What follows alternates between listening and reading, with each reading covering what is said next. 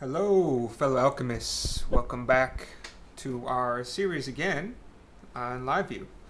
Now, I've been playing around with the new Phoenix LiveView, uh, or at least the whole new Phoenix setup. I have a new project, um, and I wanted to get the Bootstrap modal to actually work instead of the default modal that they have uh, within the Phoenix template.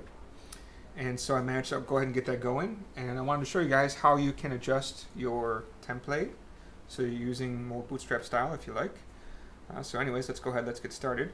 So I went ahead and I just did some very, very small tweaking. I just added some posts over here. Uh, this is just straight. Most of this comes from uh, the Phoenix Live generator itself. All I did was just add a class of table to the table and it makes it look a little bit nicer.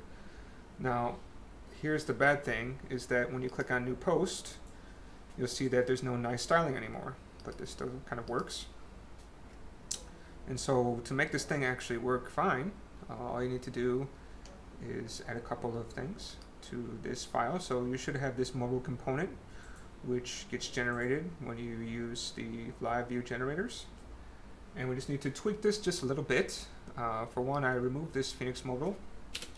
And now I just use modal fade show. So this is just some bootstrap classes that come when you have your modal. So now if we take a look, you'll see, you know, it's not quite working. Uh, we're missing something. Uh, we still have more to do anyways. The other thing we need to do is we need to also do, which is probably the big thing, which is the style display block. So once we have that, let's see, there we go. So that gets it kind of going. But now the HTML is also uh, not quite right. So we need to replace this with just modal content. And we also need to the class modal dialog.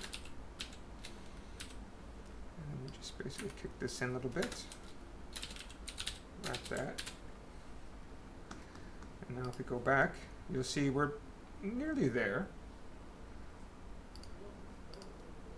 So the next thing we need to do to make this look a little bit nicer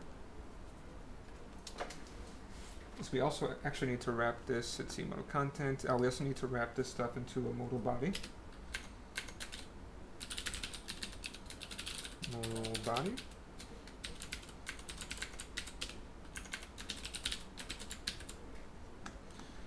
See how it looks now. So we're ne nearly there.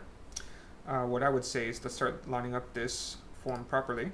So you see this one's going to be displaying the component. And that component is over here, the form component. And we just wrap this up with some form groups.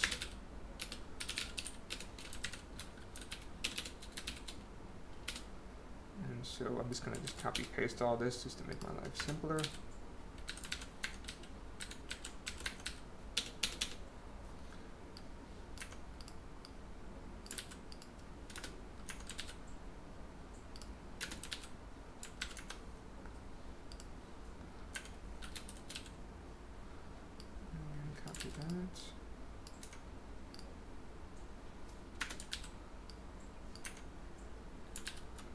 Take a look now. We're nearly there. Now we have a nice lineup. Now we just need to add the form control.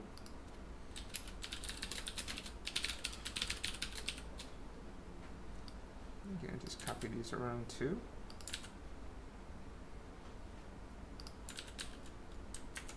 And there we go. We're basically nearly there, right? So we can probably try to move this around, but I'm not going to worry too much about that part. Um, but I will just go ahead and make this button look just a little bit nicer. So button, button primary. It's really more bootstrap style.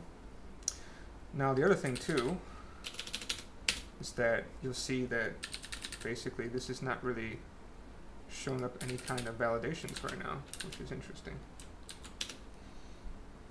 And that's because this is doing the form for.